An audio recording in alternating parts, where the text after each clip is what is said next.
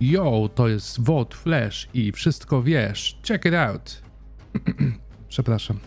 Wpisując do 30 czerwca kod Home Sweet Home otrzymacie specjalny kamuflaż inspirowany czasem kwarantanny i pandemii.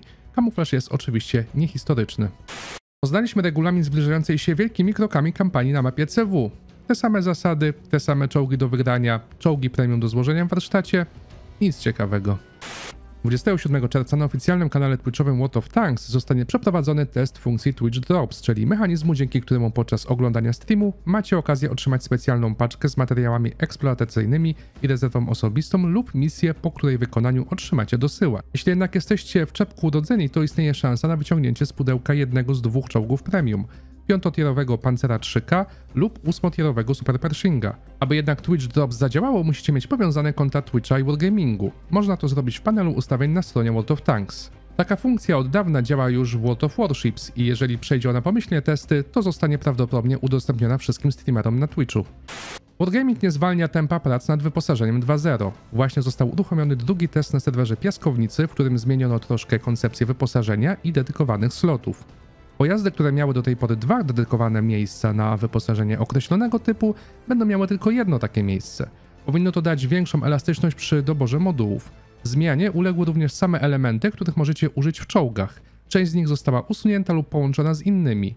Jeśli chcecie poznać dokładnie wszystkie zmiany, to zapraszam Was na blog Domina, do którego link znajdziecie w opisie lub zwyczajnie na serwer Piaskownicy. Nadejszła wiekopomna chwila. Poznaliśmy założenia osłabienia kołowców, które stały się równie mocno znienawidzoną przez graczy klasą pojazdów, co artyleria. Kluczową zmianą ma być zdecydowane pogorszenie mobilności pojazdu przy uszkodzonych kołach. Nie są to jednak wszystkie zmiany, ponieważ ich charakterystyki zostały lekko osłabione w stosunku do obecnych wartości. Zmniejszono zasięg widzenia, moc silnika oraz prędkość maksymalną, jednocześnie zwiększając rozrzut działa. Jest to dopiero propozycja zmian i jeśli okażą się one niewystarczające, to będą podejmowane kolejne kroki mające uzdrowić sytuację. Miejmy tylko nadzieję, że zbieranie danych na ich temat nie potrwa znowu półtora roku. Dziś WG ujawniło wstępne statystyki polskich czołgów średnich z poziomów od 5 do 7. Jak można się było spodziewać, charakteryzują się dość mocnymi działami i dobrym opuszczeniem luf oraz przyzwoitą mobilnością, ale moją uwagę szczególnie przykuło masywne opancerzenie czołgu CS-44. Są to oczywiście wstępne statystyki, więc na pewno będą one korygowane w najbliższych tygodniach.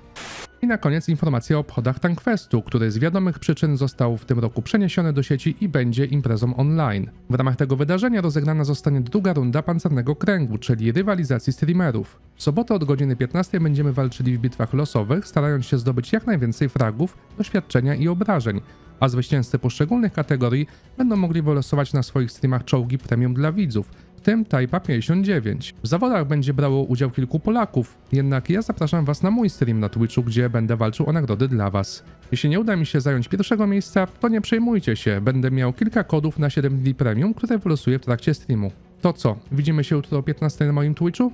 Him. DJ, where are you going, man? That's the wrong base, dude. And blind him. DJ, Wrong that's base. the wrong base, buddy. Aha. Holy shit, dude. Okay. That's weird. Fun team, like I said, dude. I drink too much. Uh,